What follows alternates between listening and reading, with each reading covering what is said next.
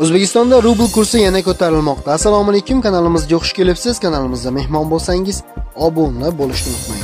O'zbekiston Respublikasi Markaziy banki xorijiy valyutalarni o'zbek so'miga nisbatan 12-sentyabr kuni uchun amalda bo'ladigan qiymatini belgiladi. Unga ko'ra dollarning rasmiy kursi 28 so'mga qimmatlab 12715 so'mni tashkil qildi. Bundan ko'rinadiki, 100 AQSh dollari 1 271 507 so'mga teng bo'ldi. Yevro kursi ham 36 so'mga qimmatlab 14041 so'm etib belgilandi. Unga ko'ra 100 yevro 1 440 125 so'mni tashkil etmoqda.